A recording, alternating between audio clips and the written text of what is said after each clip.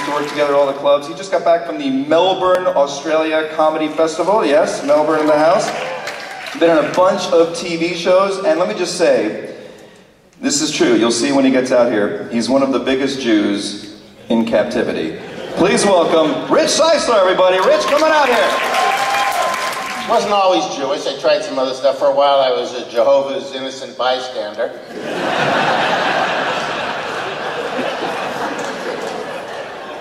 We'd ring bells and run away.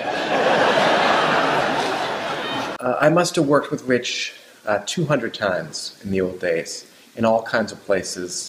I never saw him have a bad set. And there's only a, a handful of people that I can say that about. My, my beginnings 30 something years ago, I don't even remember what I, I did some pathetic jokes and I think there was a piano, I played some Elton John, I was, it was ridiculous. But there was enough of a one, maybe a second sliver of a laugh to say, hey, I like this, and I kept going. Our first challenger was born in New York, grew up on Long Island, and is now living in Boston. But tonight, he's here in Hollywood. Welcome, Rich Ceisler. And from the first time I saw him when I was in high school, I went to see him at Nick's Comedy Stop, and he was just funny. As funny as it got. And one of these all inclusive places where you pay your money, everything is included. This includes all the liquor you can drink, and the bar is open 19 hours a day. People say, Rich, how was the food? the bar was open 19 hours. People say, was it sunny? Did you go swimming? No. The bar was, I came back, my hair was braided. I don't remember doing that. He just uh, he was a, a, jovial guy on and off the stage. He would just make you laugh. It's five bucks. I go five bucks. Why would I pay you if the shirt's not clean? She goes, you have to pay us because we tried to clean it. really? Well, I'm trying to pay you.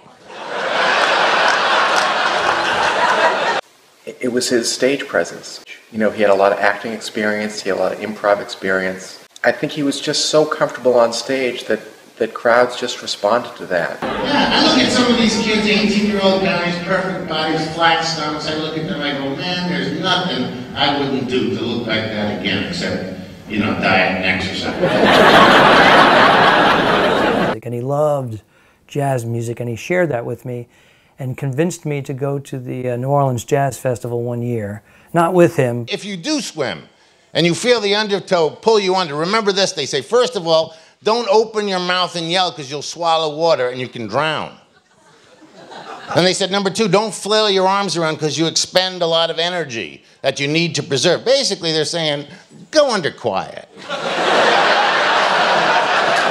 like when I know I have a payoff, you know, I'll hold something much, much longer than a lot of guys because I know the payoff is coming and I love the time between it's almost uncomfortable and then I've got the payoff because I know it's gonna. I have it. It's it's it's foolproof.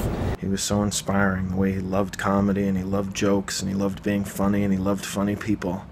Friends of mine say, Rich, you'll find love again. You'll find love when you least expect it. Have you heard that before? Yeah. I was thinking about that. When would I really least expect to find love?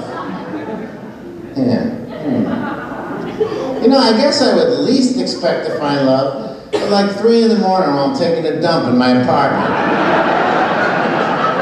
That's when I would least expect to find love.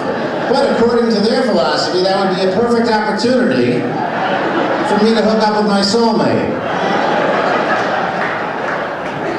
So sure enough, last week... Uh, he was just effortless, and uh, it was amazing.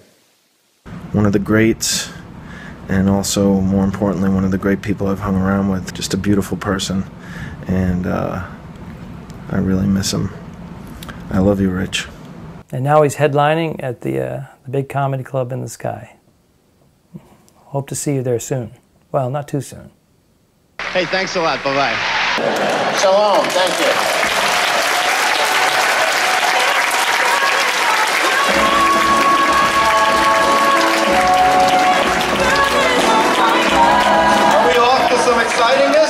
people, huh? Rich, let's hear it for Rich Ceisler, everybody. Come on. Yes.